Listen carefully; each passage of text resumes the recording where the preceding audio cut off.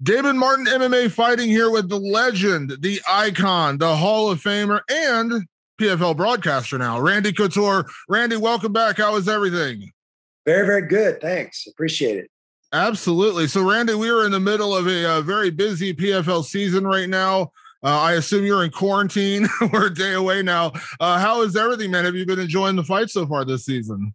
Oh, it's been amazing. Great fights this season. Really excited about tomorrow night's fights. Uh, weigh-in show today coming up in about an hour, well, a couple hours actually. But uh, I got in last night to Atlantic City. Uh, thankfully, I'm in the red zone, so I don't have to quarantine quite as much. the athletes have to quarantine these days. Yeah, absolutely. Um, one of the biggest storylines coming out of PFL this season has been some of the surprises. You know, we talked earlier before the season started about some of the big signings uh, that that PFL was making. You know, Anthony Pettis, Rory MacDonald, Fabricio Werdum. Uh, yep. You know, some of the big signings that we've actually seen a lot of upsets. Anthony Pettis ends up losing his first fight. Marcin Held pulls off the upset against Natan Schulte, which I think shocked a lot of people. Uh, yeah. You know, there's been a lot of that. I mean, have you been, I, I guess, impressed or surprised by some of the some of the upsets we've seen? Absolutely surprised. I think uh, you know. I, I don't think I would have uh, in a million years seen the the Nathan Schulte fight go the way it did. Uh, I mean, Held is relatively, or Hamlet rather, is relative, or no, it's Marcin Held. I keep I keep mixing up Hamlet and Held. Uh, the, the, you know, unpredictable. We don't know that much about him. Uh, amazing competitor. Expected him to go out and try and get get to the submission and get to the ground, and man, he just threw punch after punch and combinations at at at Natan. Uh, you know, the the Bubba Jenkins Lance Palmer fight was was surprising to me. I, you know, I I knew Bubba was a great wrestler, national champ from Arizona State, but I did not expect him to take Lance down and control Lance the way he controlled Lance. Obviously, the Pettis Collard fight was amazing fight. Collard did an amazing job letting those boxing hands go with amazing precision and, and great power. Uh, I think that surprised Pettis as well as everybody else watching that fight. It's, it's been a crazy year. Absolutely. You know, it's funny. I, I was talking to Ray Sefo yesterday, and I said, you know, we got a couple of key fights coming up because, and again, obviously, I, you know, I wish nothing but the best for the returning champions, but we're in a scenario now where, depending on what happens next week, we could see the playoffs start without Natan Schulte and without Lance Palmer. And Lance Palmer's in a situation where he has to get a first round or a second round finish to even get in the conversation to make the playoffs because of where featherweight's at right now. So it's kind of a crazy season when you think about two of the most dominant champions they have are right now on the bubble of not even getting in the playoffs.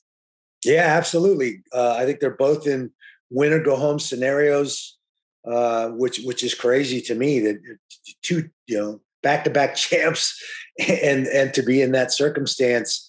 You know, we saw Emiliano Sordi, who who almost had a perfect season in 2019 struggle a bit in, in his first outing. So I'm excited to see him compete and see how he does tomorrow. I think we're going to see a little bit different Emiliano tomorrow. But uh, uh, man, amazing, some amazing fights. Uh, Fabricio Werdum, obviously, uh, getting a no contest in a very conter- con- con- controversial stoppage, uh, and he that puts him under the under the gun too. He's got to have a finish coming into his last fight to make it to the postseason. So absolutely a crazy season so far. Absolutely. One of the uh, the other aspects I've been enjoying this year is the uh, the broadcast team has expanded. You've been working with your old pal Kenny Florian has joined the team this year, and I got to say, you Randy, you've been doing commentary for a long time, and and and Kenny has been too. But I got to be honest, uh, the thing that has surprised me most about the broadcast team uh, last year and this year is Sean O'Connell. I mean, goodness gracious, doing play by play is not easy. I don't think people understand how difficult play by play is he has he has quickly become one of the best play by play by play guys in the sport. I agree 100%. He does an amazing job. And, and let's be honest, that's the heavy lifting in the broadcast booth. Me and Kenny get to smile and, and, and give you color and kind of highlight what we see as fighters that maybe a lot of people don't recognize. But Sean is doing all the ins and outs for every segment, and he just does a great job. And that is not an easy job to do. Yeah. How has it been working with Kenny this year? Kenny's great. It felt seamless, uh, very comfortable. Obviously, I, have known Kenny since all the way back in TUF One. Uh, he, he, knows the sport as well as anybody. Um, so, and, and, it just feels very comfortable working with Kenny and Sean. Yeah, absolutely. You know, one of the big things, one of the big topics that's come up over this last week, and obviously uh, you knew we were going to talk about it, was Claressa Shields making her debut last week. The world was watching, and, and I know everyone was interested in your commentary because, of course, you had the experience with James Toney, famously the boxer who yep. attempted to cross over. I was at that fight. I remember being there for that fight. Uh, Claressa had some struggles. I mean, she obviously had some struggles those first couple of rounds. She came back, and I think I, I saw today, like after the fight, I think she said she told you, "I'm not James Toney." Uh, so what what was your what was your reaction to uh, to Claressa's performance? Well, first of all, hats off to Claressa for willing to being willing to put all that all those accolades and and all of that to the side and foray into you know a new sport. Um, I, I think that's pretty admirable and she's done a great job. She absolutely got in big trouble with with Brittney Elkin in the first and the second round. I mean, literally got in the worst position you want to be in as a boxer or a striker, and that's full mount for most of both of those rounds. So she stayed composed. She's resilient. She listened to her corner. She managed to turn it around in the third and get on top and drop some very heavy hands on top of Brittney to win the fight. Uh, I was impressed with her she did uh, say, "I'm I'm better than James Toney. I'm not James Toney." After the fight, which I thought was hilarious. I made the joke after the first two minutes that she's already done better than James Toney. Uh, so, uh, but she also said, "Man, uh, that girl had me in trouble. Had no idea how how good she really was until she got me in those situations." And I think she recognizes that she's still got a lot a lot of work to do to be a full, well-rounded mixed martial artist. Yeah, when you came into MMA, you know, obviously it was a, it was a different time in the sport, but when you came in, you had that wrestling background. Wrestling, I think, in my opinion, is the single best base for mixed martial arts. I think wrestling or wrestlers in general adapt the quickest because they have that one weapon that you just can't you just can't learn in, in six weeks or eight weeks or ten weeks or anything like that. Uh, and and Kayla Harrison with judo, she had a, a similar skill set with the takedowns and the submissions and things like that. Boxers are not in that position and kickboxers to a certain degree have uh, we've seen some kickboxers have struggled as well. Do you feel like the learning curve with, with claressa is going to have to be a lot bigger than maybe what some people are expecting right now? Well in my experience it seems like the grapplers tend the way they learn and the way they look at things tend to learn the striking side of our sport much quicker and much easier at least enough to be proficient to get people where they want to get them and going the other way from the striking realm, that seems to be a lot tougher to develop that mad sense, to develop that innate kind of sense of where you're at in the grappling realm uh, for strikers going the other way. It's, it's been a lot tougher. Obviously, we've seen Kayla Harrison doing do amazing uh, in able, you know, in the striking and, and in mixed martial arts as she transitioned from a two-time judo gold medalist and now claressa's on the other side of that same coin as a two two time gold medalist in boxing, trying to come the other way, learn the grappling, learn the wrestling situations. I just feel like that's going to be a little slower go than we've seen Kayla. And we're all excited to maybe at some point see these two match up, see these two in the finals or, or in the competition. So we'll see how long that takes. I think Claressa's very diligent. She's put herself in a great camp in a great place to be able to learn what she needs to learn to take advantage of her boxing background, but it's going to take a minute.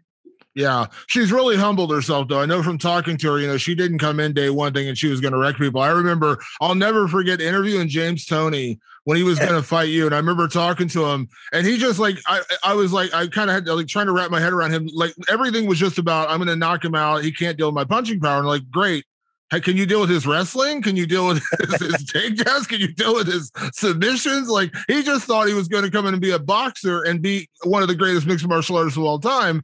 Obviously, we saw that fight played out. Claressa has humbled herself. She has taken, you know, she has admitted she didn't know what she needed to know going in day one. And I think that's a big difference. She seems fully committed to this.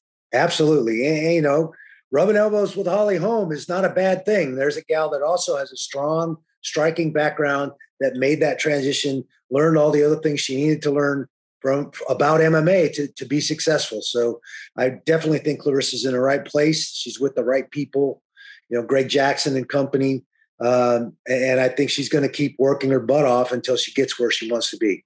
Yeah, it's funny because we've always, you know, right now, and I and I know you've seen this, Randy, in the sport where we're at we're in this weird time where we've seen a lot of mixed martial artists crossing over to boxing. And and listen, I'm never going to fault anyone for making money. I mean, uh, you know, there's no no problem making a paycheck, but it's we've seen that. But we keep seeing the other side. They're like, come over and fight us here. Come over and fight us in MMA. And you don't see nearly as much willingness. Like let's say Jake and Logan Paul. They don't seem like they're jumping at the chance to come over and fight MMA as much as they're inviting Tyron Woodley and Ben Askren to come box them.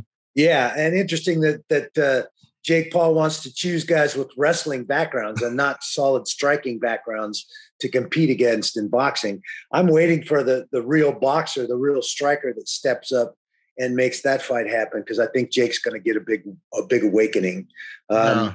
I, I, I think Tyron's up to the challenge. He's a diligent guy. He's got a he's he's hooking up with some great boxing coaches. He's got plenty of time to to sharpen the striking tools. He's an amazing athlete. So I have high hopes for Tyron. I think it was ill advised for Ben. Ben was never a, a, very powerful striker in the first place. His wrestling credentials stand on their own. Um, you know, coming off a hip surgery and all the other stuff that led into that fight. Great for him getting a paycheck like that. I mean, he's never been paid that well in MMA, and uh, and I think that that's the one thing that's happening is these guys are shining a light on the, the disparaging difference between pay in boxing versus MMA. Yeah, let me let me ask you about that, Randy, because I, I was going to bring that up because Jake Paul, one thing, whether you like the guy or not, you know, he's he's brought that up. You know, guys coming over to make a big payday against him. Tyron Woodley, I talked to Tyron's manager, and he flat out said he's making the single per single biggest purse of his entire career. And, and when you think about that, that's a five time defending UFC champion. And that's not what you want to hear that he's making yep. more money in his first ever boxing match than he ever made in, in his career, you know, in the UFC. Um, and listen, you know, we, we've known about this for years. You battled for this for years in terms of, you know, better contracts and fight. Like, what do you make? Are, do you feel like we're finally seeing people kind of wake up to this? Or I don't know, because I know we've had this discussion for years, but. Yeah, you know, I think the, the guy that really had a chance to shine a light on it was Conor McGregor. You know, he, he got a boxing license. As soon as he got a boxing license, he rendered his UFC contract null and void. He had the protections of the Muhammad Ali Act when he became an official boxer with that boxing number. And, and he chose to bring Dana White and company back into that fight when he could have done all that on his own, kept all that money to himself, and shined a light on the problem in the sport of mixed martial arts. He chose not to do that. Now, he made a $100 million off of that fight with Floyd Mayweather. That's more than he'll probably ever make in mixed martial arts, to be truthful. So I think it started there. I think really the, the first big red flag was selling the company for $4.2 billion. That's when a lot of fighters stood up and, and said, What the heck? How in the heck is that possible? And uh, and then Conor, I think again, shined a light on it, but chose not to pursue it, chose not to highlight it and, and try to improve our sport. Now I think you got guys like Jake Paul. Why is Jake Paul the one to step up and poke Dana and, and shine a light on what's going on and the difference between our sports? And, and what the Ali Act does for boxers that doesn't happen for the rest of us in combative sports. I think that's what needs to change. You know, if it takes Jake Paul to, to run his mouth and get that done, then great uh, as long as it gets done. But I don't know. It's it just seems kind of crazy to me that it's coming from there, and that we as athletes in mixed martial arts can't can't come together and can't hold these promoters to a higher standard and create the transparency that we need in the sport. Absolutely, and I know the Ali Act has been you know there's been so much there was a lot of controversy with that over the years and getting that through. But I know that's been a, a, passion project for a lot of people, you know, getting that because you're right. Transparency is the problem. There isn't any. Uh, yep. You know, it's just like even now, uh, even though they weren't ever fully reported numbers, like now commissions aren't even reporting salaries anymore. And that like that's a weird one. Like that used to be at least some some small insight into like the prelim guy on the first fight of the night getting paid, you know, five grand or whatever. At least we had yeah. that. Now we don't even have that. So it's like we're actually getting less information than we used to get yeah, it's it's crazy to me. And I mean, how are you supposed to negotiate your true value in an event in in, in a sport when when you don't know how much revenue you brought in competing on that event and that show? It, it's pretty tough. So, and then you throw the ancillary rights and all the other stuff that they're trying to take away from these athletes. It's it's a kind of a ridiculous situation that needs to change for sure. I know this is such a broad subject, Randy, and I'll kind of kind of get off the subject on this one. I'll ask you like What do you think it's going to take to make a change? Like, is it going to be the Ali Act? Is it going to be you know, guys like Conor and we've seen Jon Jones. I mean, Jon Jones has been fighting for it and he's still fighting for, you know, getting better pay for him to come come up to heavyweight. What is it what what do you feel like is it is it going to take to finally make at least some small change? Well, I think there's three things going on. The first is is obviously the class action lawsuit that, you know, is the long play. It's going to take a while to settle all of that. The affidavits are in, it's been certified as a class. If they're successful in proving their case, it's going to force the biggest promotion anyway in the sport, the UFC, to, to do business differently. That's that's the first scenario. The second scenario is the MMAFA, the Mixed Martial Arts Fighters Association, and I'm part of that group, have been lobbying to see the Ali Act amended, just change the definition from boxer to mixed martial arts or combative sports athlete. And then we would enjoy the same transparency and, and restrictions on promotions and promoters that boxers have been enjoying since 1996. Now, the UFC is lobbying very, very hard and spending a lot of money to keep that from being voted on. It's gotten us tossed out of the Energy and Commerce Commission, which is where it was originally voted and, and voted in. So they're doing their thing to try and keep it from being a vote um, and voted on. Uh, the third thing is organizations like the PFL that have taken this sport and put it in a regular sports format are paying the athletes very, very well you know, a million dollar purse at the end of each season with a new champion. I think that's another avenue as well. They're creating a, an athletes advisory board and doing some things that some of the other promotions aren't doing. And that's, I think that's a third potential to see change in the sport. We're obviously attracting a lot of big names and top names from the sport that, that want a shot at that money and want a chance to know when their next fight is going to be and, and not have to worry about it. So I think those are all three things that are a positive change in our sport. It's it's funny. I was joking with Ray Sefo yesterday. We were talking about Kayla Harrison, you know, maybe not getting the respect she deserves in the quote unquote pound for pound rankings. And we were talking about that. I said, you know what, though? I said, at the end of the day, pound for pound rankings are great, but she's gonna she went home with a million dollars in her in her last tournament, and she may go home with another million dollars this year. And I said, you know what, that's better than any ranking next year. And going on with two million dollars to make because I guarantee that's more than the average fighter is making in in most promotions. You know what I mean? Absolutely true. I think that's absolutely true.